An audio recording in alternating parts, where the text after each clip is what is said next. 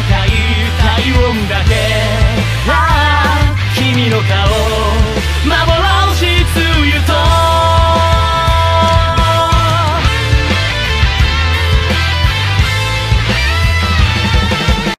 いい。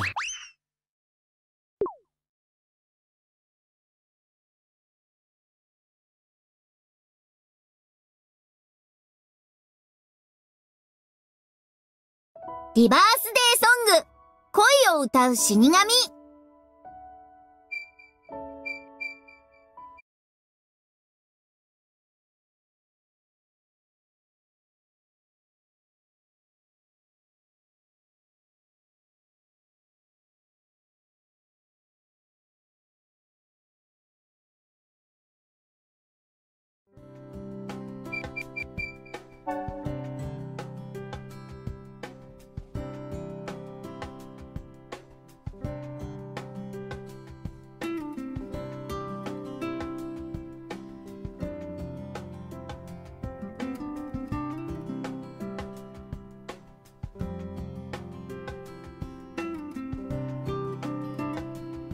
だから長いこと審議に時間がかかったがお前らのペアを決定した。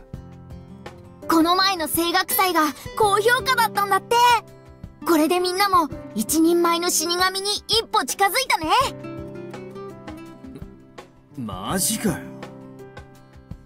ナミ先生何も考えてないのかと思ったらペア決めのことちゃんと考えてたんだな。そうですね。先生のことですからペア決めなんて忘れてると思ってました。いくら普段が不真面目だからってさすがにそれはないだろう。あのな聞きたくないんなら聞かなくていいぞ。その代わり卒業もできないと思え。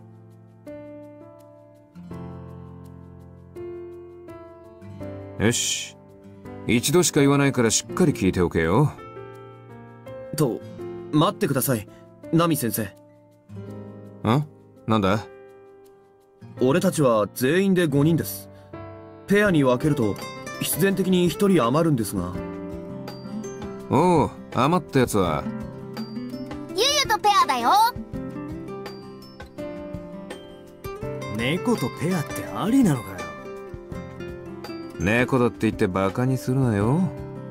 こいつは仮にも俺が死神として現役で第一線に出ていた時のパートナーだ。死神としては前夜立花よりも先輩だぞ。そうだよ。言ってなかったっけ？おおますますどんな組み合わせになるのか楽しみになってきたな。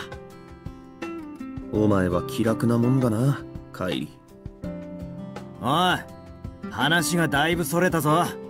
早く発表しろよ。うんそうだったな。それじゃあ今度こそペアを発表していくぞ。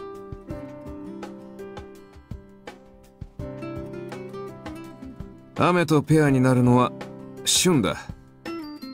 僕と俊ですか。まあそんな気はしてましたけど。ち死神になってもこいつに付きまとわれるのかそれから夜とゆゆゆゆとですか？わかりました。よろしくね。ゆゆ頑張るから。そして最後はお前ら二人でペアだ。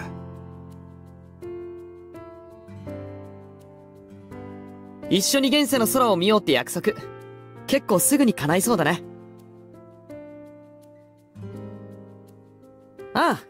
俺の方こそよろしくな。相棒。まあペアといっても現世に実践授業をしに行く時に使うぐらいだ。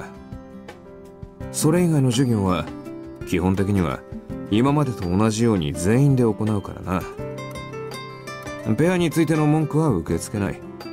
今まで通り仲良くやれよ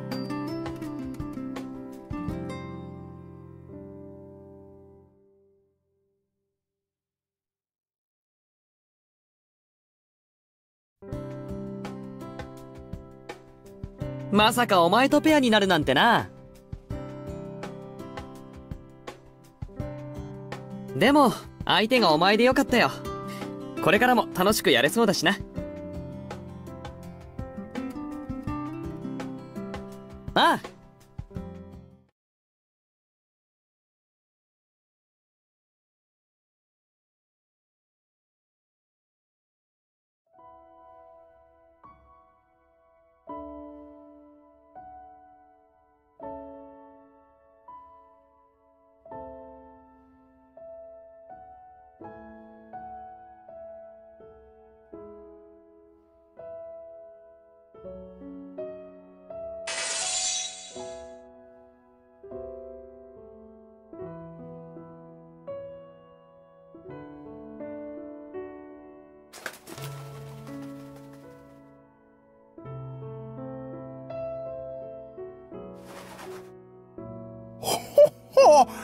久しぶりだね。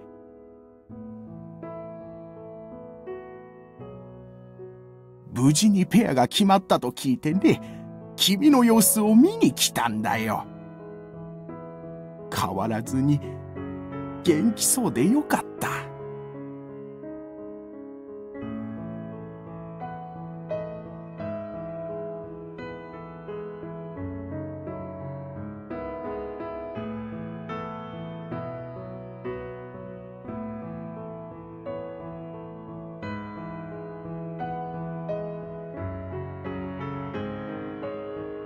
うんうん、それはよかった。いいえ、これから君には今まで以上の苦労が待っているかもしれません。けれど、パートナーを信じて、自分の力を信じて乗り越えていくんだよ。いいね。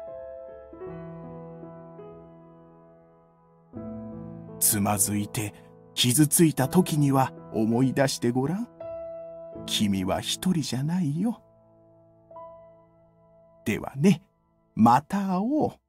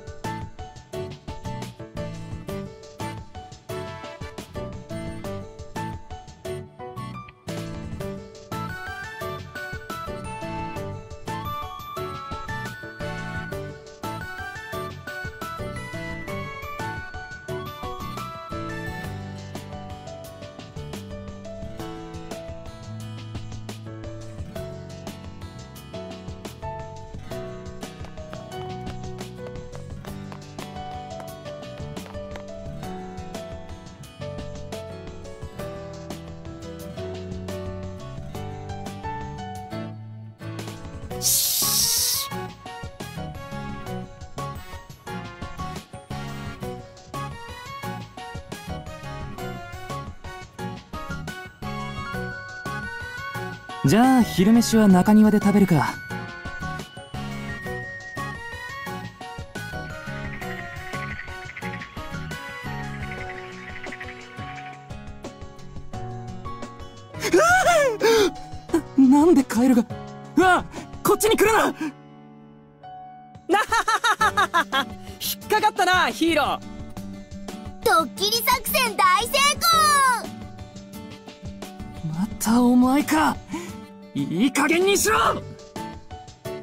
ゆうゆう逃げろ。逃げ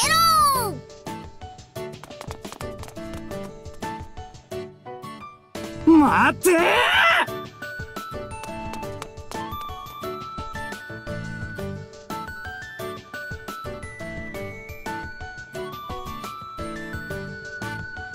飽きないぞ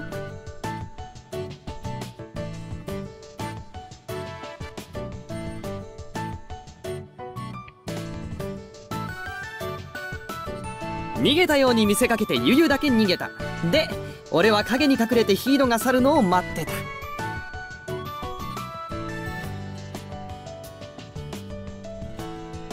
あいつはカリカリしすぎなんだよ。だから俺が笑わせてあげようと思っていたずらしてるんだ。俺のいたずらは友愛の証だからな。本当に嫌いな奴にはいたずらすらしないよ。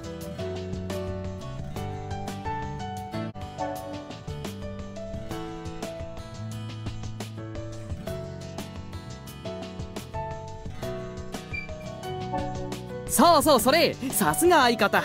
よくわかってるな。やっぱり俺のパートナーはお前で正解だったよ。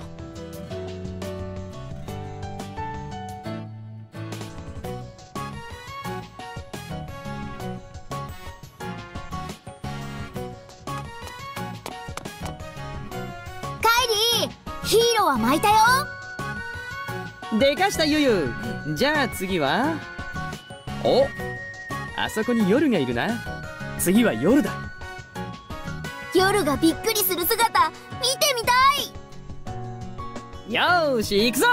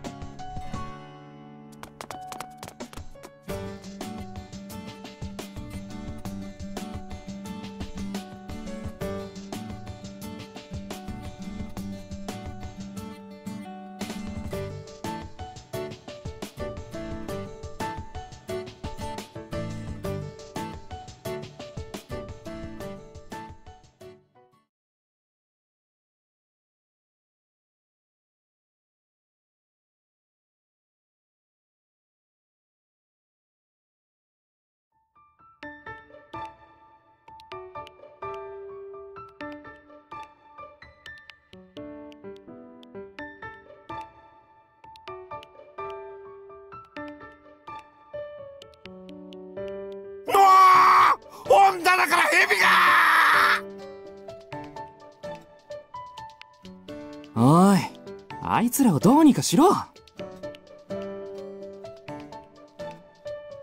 職員室にはもういないぞ。あいつら今度は中庭の方へ出て行ったからな。あんな奴とパートナーなんてご愁傷様だな。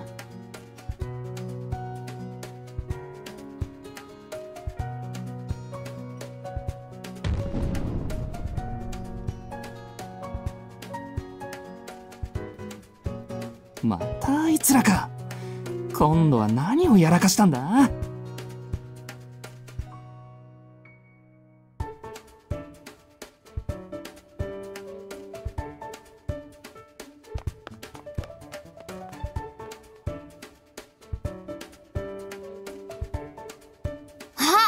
いいところに来た。こっちこっち。まあまあ今日のはうまくできたんだよ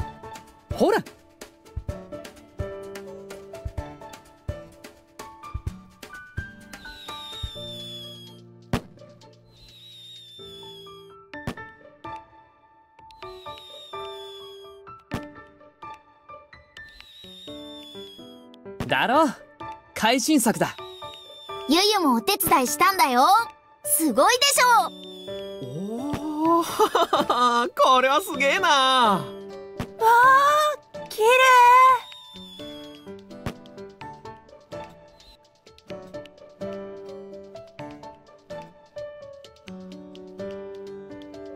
ちゃんと危なくないように室内用に火薬を調節してるよ。他の生徒たちも喜んでるみたいだしいいだろ？おお怒った！怒った！逃げるぞゆゆ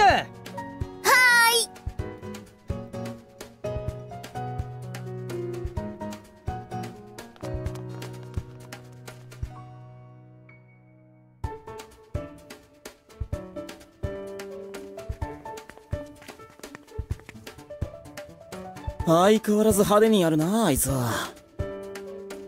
苦労しているようですね。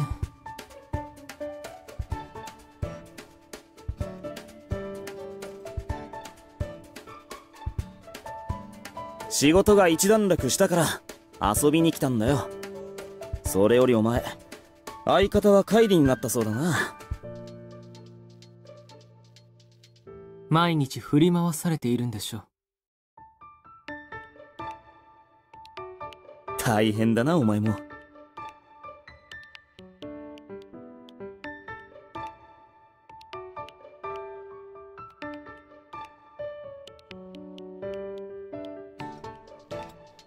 まあああやって騒いでいないとあいつ自身が耐えられないんだろうな。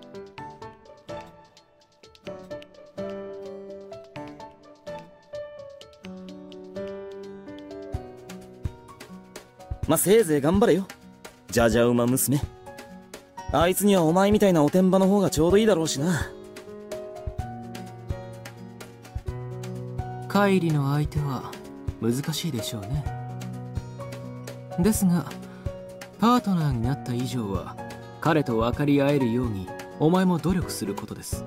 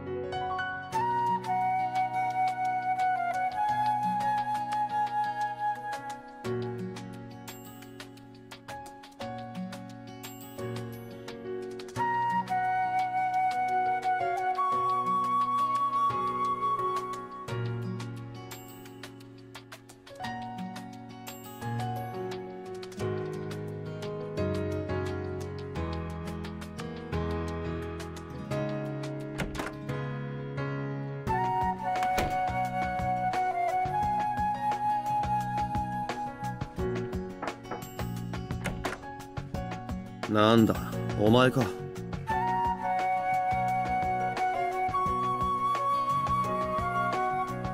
帰りなら森の様子を見てくるって言ってたぞ。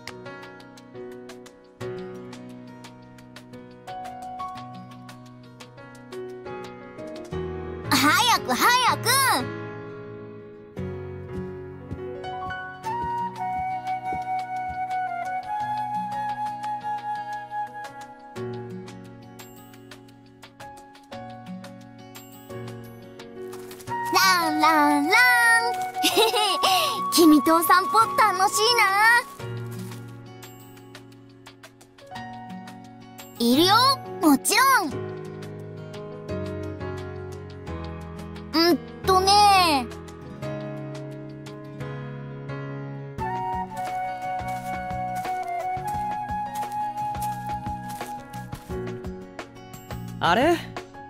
二人ともどうしたんだ？だからそうだって言ったでしょ？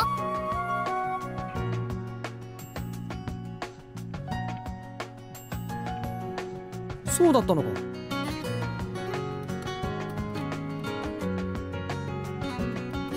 それはだな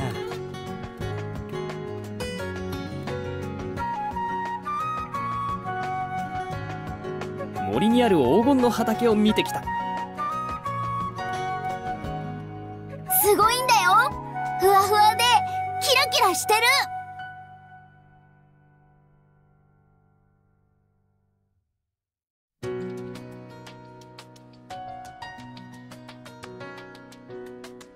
補修メンバー以外のやつには言わないって約束するなら連れて行ってやるよ。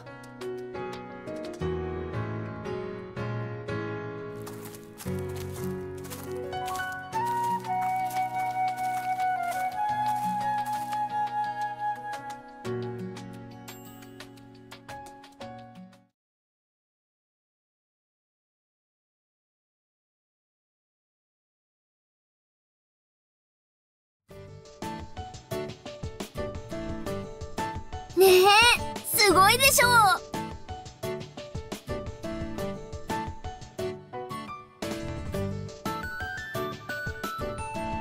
うネザーワールドはいっつも涼しいからひまわりが咲く場所って限られてるんだよね。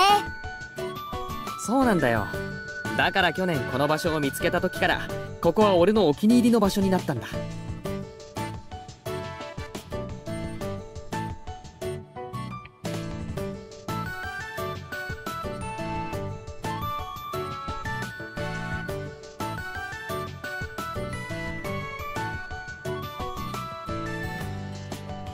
やってここで飛行機を飛ばして遊ぶのが好きなんだ。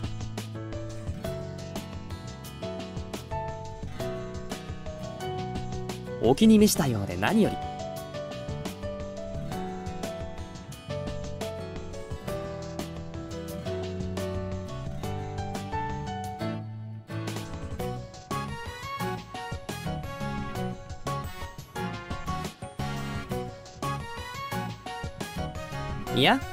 俺が作ったんだ。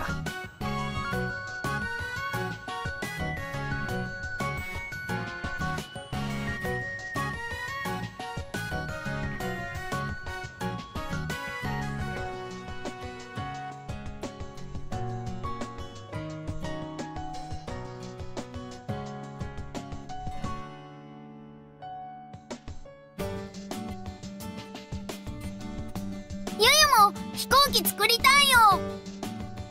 じゃあやってみるか？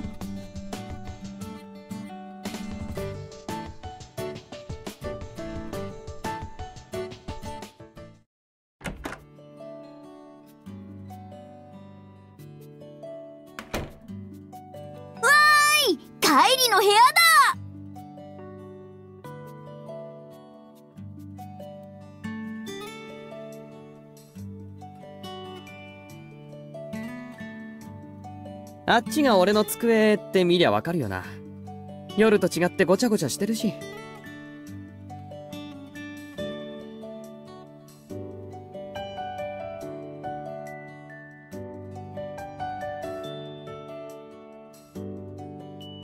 その模型は新しい飛行機のやつでその設計図は隣のクラスのやつに頼まれた小物入れのものだな。引き出しを開けると音が鳴る仕組みにするんだ。ものづくりが好きなんだよ。これはもう趣味みたいなもんだな。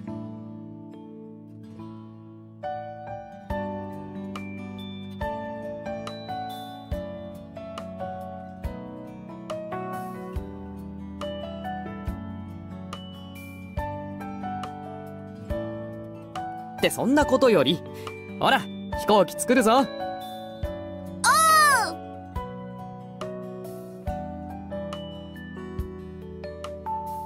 初心者にはさすがに難しいだろうな。だからお前にはこの紙を進呈しよ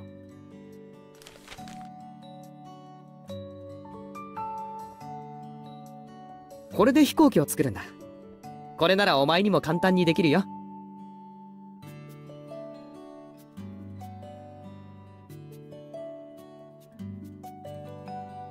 ゆゆも一緒におるか？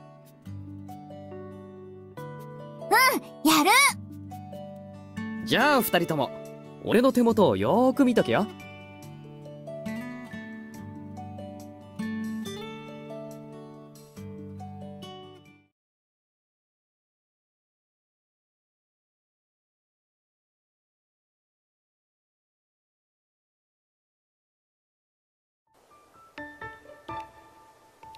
だな。それじゃあ作った紙飛行機を風の吹き抜ける方向に向かって投げてみろ。し行くぞ。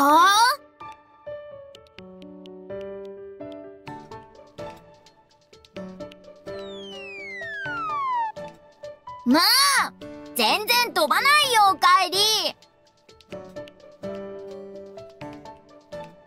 ならもっと形を変えてみたらどうだ？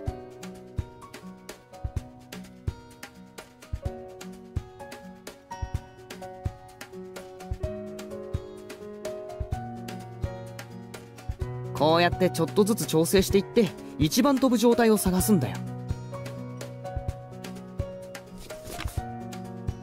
よし。これでやってみろ。よし今度こそ。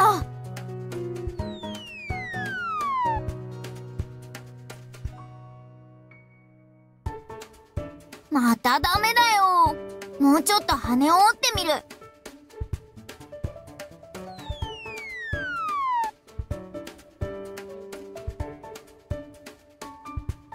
重心が真ん中じゃないからかもな。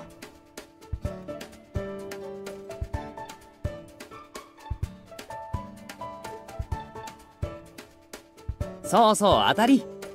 うまくバランスが取れるように調整してみろよ。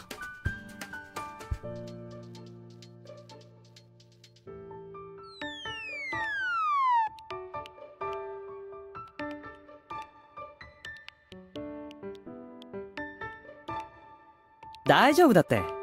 調整するたびに飛距離が上がってるだろ。きっといける。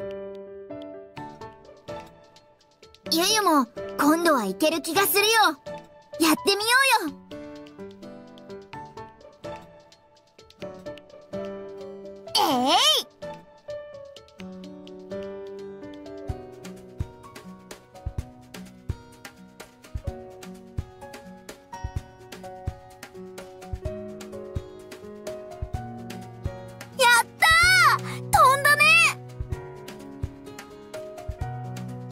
しよし。よかったな。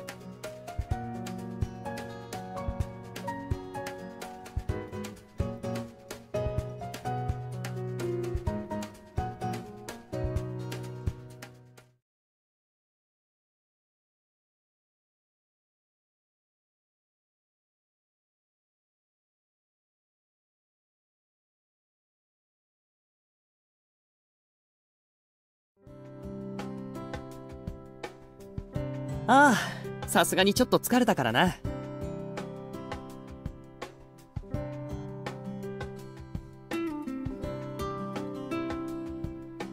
俺はアドバイスしただけ。お前たちがちゃんと調整したから飛んだんだよ。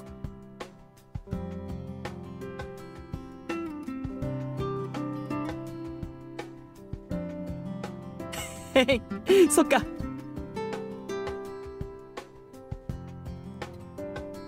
そうだな。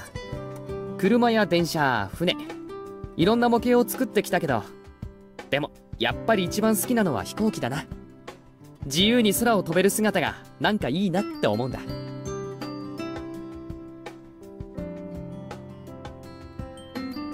うん俺もそう思う。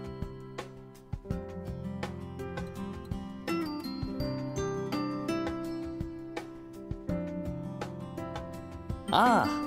あとは花火を作るのも好きだな。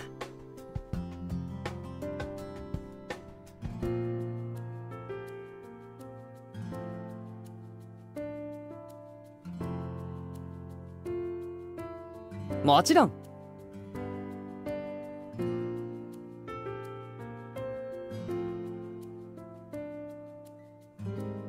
これも慣れれば簡単だぞ。あじゃあ明日は一緒に花火でも作るか。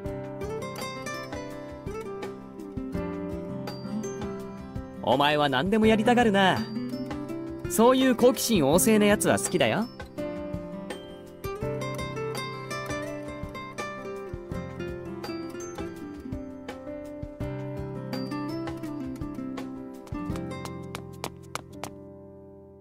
カイリー紙飛行機飛ばなくなった。どっかにぶつけたのか？どれ？貸してみろ何もしてないよ。いっぱい飛ばしただけだよ。ああ飛ばしすぎてちょっと羽がよれてるな。こういう時は一度折り直してやれば。よしっとこれでまた飛ぶはずだ。本当？よーしもう一度飛ばしてみる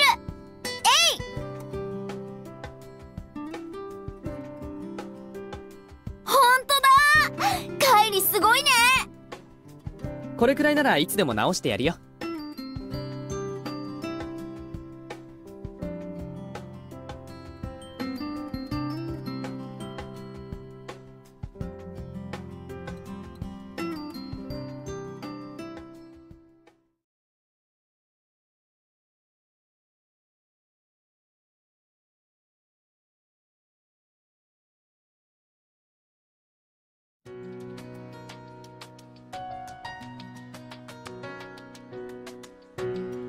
いきなり打ち上げ花火はハードルが高いから今日は線香花火を作ろう。線香花火の材料は硝酸カリウム硫黄木炭。これを混ぜて火薬を作る。でその火薬を小よりに包むから和紙も買わなきゃな。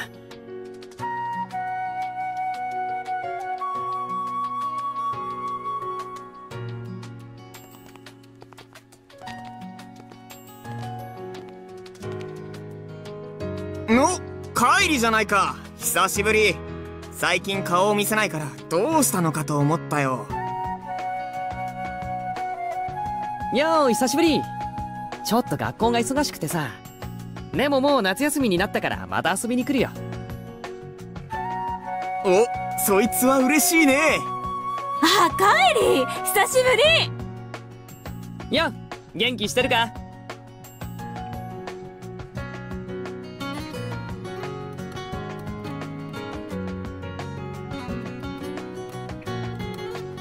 悪いな。足止めばっかりさせて。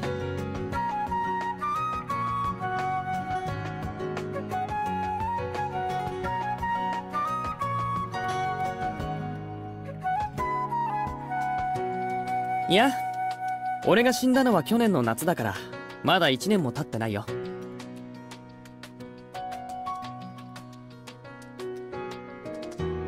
ネザーワールドに来たばかりの頃は不安も多かったんだ。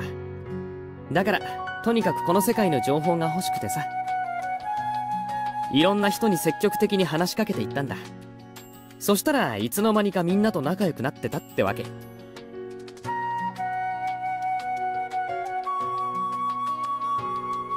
そんなことないだろ。お前だってその笑顔と歌で人を引きつけてるじゃないか。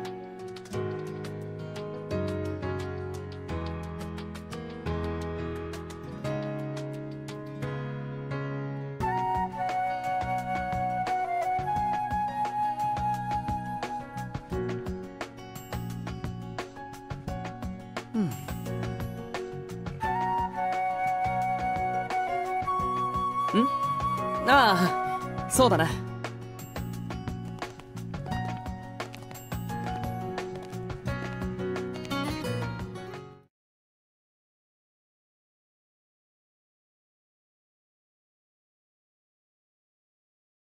材料の配合を間違えたらうまくできないから重さは正確に測ること。まず硝酸カリウムが 0.55g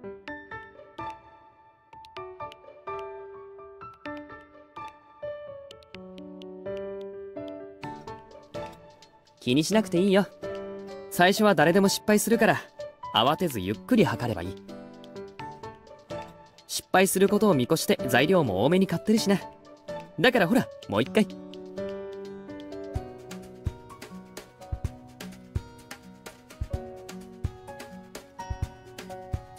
そうそうその調子。けど手早くな。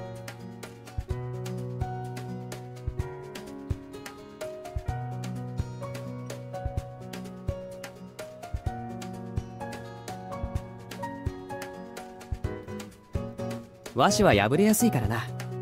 難しいなら火薬を和紙に包むのだけは俺がやろうか。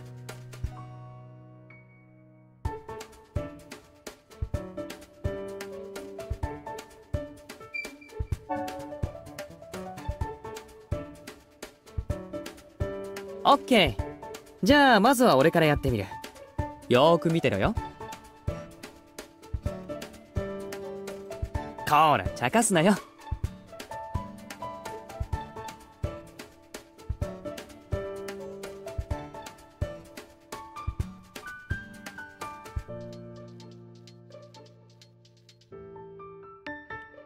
よくやったな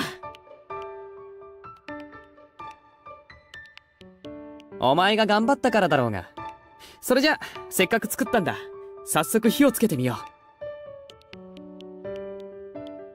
う。頑張って作ったんだ。きっと大丈夫。日も暮れる頃だし、外に行こう。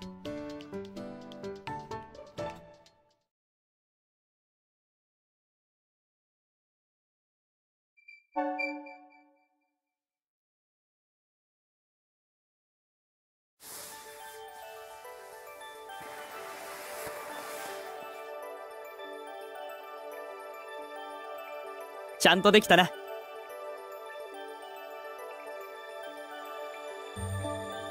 そうだよ。お前が作ったんだ。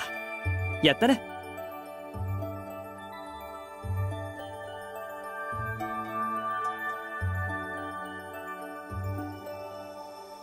何言ってんだか。作り方さえ分かれば誰にだってできるよ。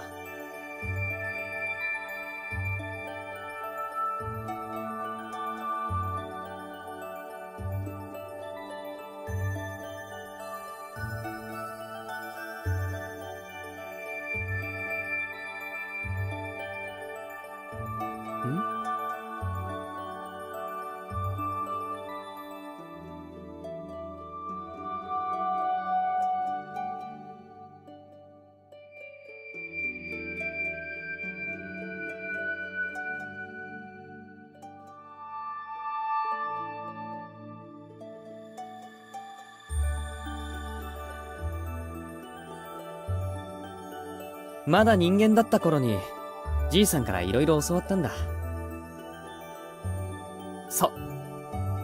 俺のじいさんは、おおらかで優しくて。当たり前だけど、俺よりずっとたくさんのことも知ってた。あの人こそ魔法使いみたいだったよ。何でも作れるんだから。俺、ずっとじいさんに憧れてたんだ。ああ、大好きだった。だから先にじいさんが死んで、俺がこっちに来た時も、この世界のどこかで会えるんじゃないかって少し期待してたんだけど。けど、じいさんは人生を全うしたんだな。きちんと天国に行けたらしい。ちょっと寂しかったけど、でも、じいさんに思い残すことがなくてよかったよ。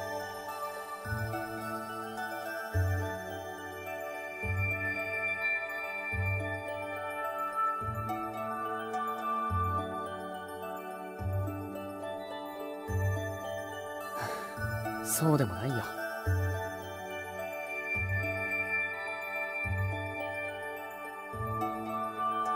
俺、両親とはあまりいい思い出がないんだ。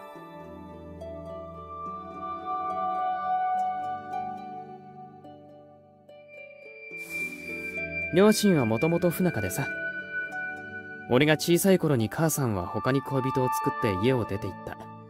で、そのまま離婚。父さんはもともと厳しい人だったけど、離婚の後からは、厳しいってより、おかしくなった。俺を虐げることで自分の心を保とうとしたんだ。俺に依存してたのか、それとも、自分を捨てた女が産んだ子だから憎かったのかもしれない。いろんなことをされたよ。暴言を吐かれたり、傷つけられたり。そんな状況にじいさんが気づいて、俺を引き取ってくれたんだ。気にしてないから大丈夫だよ。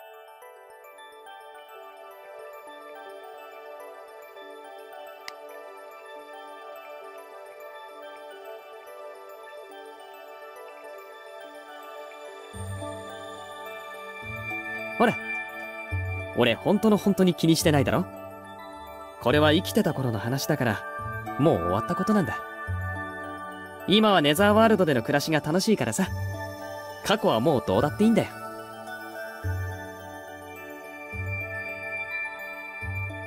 ならお前が落ち込むな。わかったな？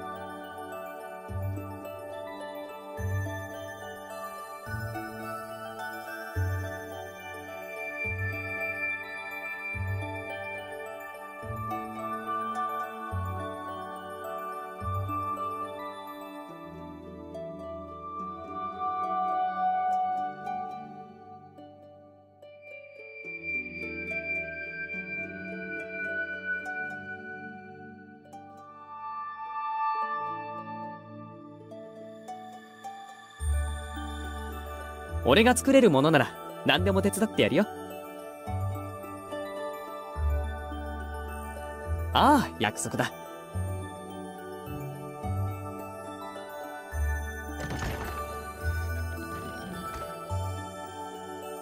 おいお前たち。いつまで遊んでるつもりだ？晩ご飯ができたぞ。あ夜？もうそんな時間か？早くしないと旬に全部食われるぞ。ああ飯食う時は全員一緒のルールだろ行くぞ。